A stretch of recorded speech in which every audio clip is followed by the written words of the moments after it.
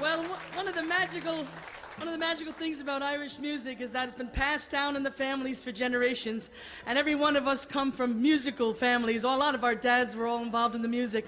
My father was Joe Madden. He came from a place called Portumna in East Galway, and I wrote these two tunes about my dad's hometown.